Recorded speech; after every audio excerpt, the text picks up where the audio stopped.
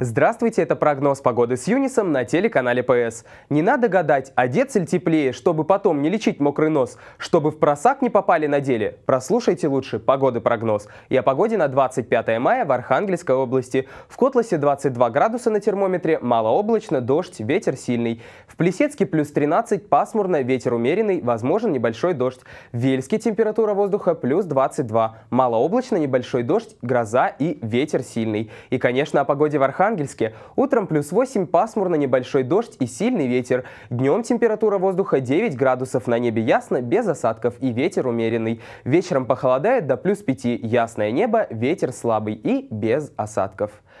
Пускай за окнами неброский мир черно-белой полоской дни И кажется, что только ты один на один Пускай До встречи на телеканале ПС